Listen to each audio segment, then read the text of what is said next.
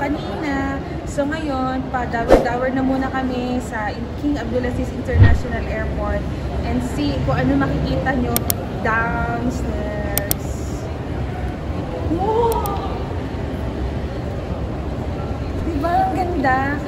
So, dito sa King Abdulaziz International Airport, andito yung napaka-known na napakalaking aquarium. So, from basement 1 until sa taas, may gina ginawa silang napakalaking aquarium na yung mga maraming isda. May shark pa nga eh. So, tingnan nyo yung view mamaya.